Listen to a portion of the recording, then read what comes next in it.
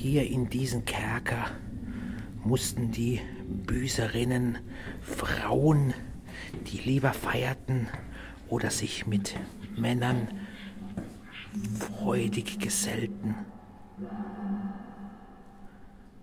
Das ist der Keller der Büßerinnen. Ihr hört sie jetzt noch schreien.